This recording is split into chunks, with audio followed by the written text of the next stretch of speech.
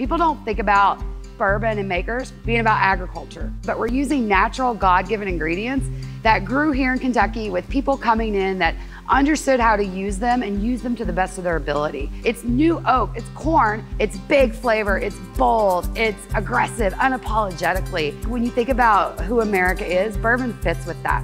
American history is important to American whiskey because it is kind of the story of America and the story of European immigrants. And as they came and settled in Kentucky, they began to grow corn. And as farmers and had excess grain left over, they began to make whiskey with corn.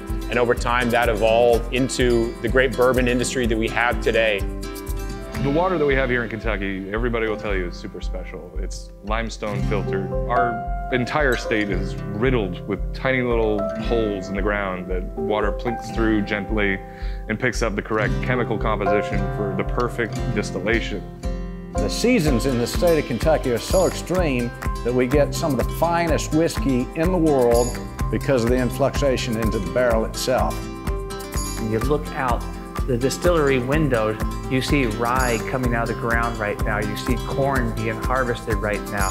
The water coming up out of the ground that's being used back into whiskey. Nothing leaves our farm. Everything is used. It's more of an art farm than anything.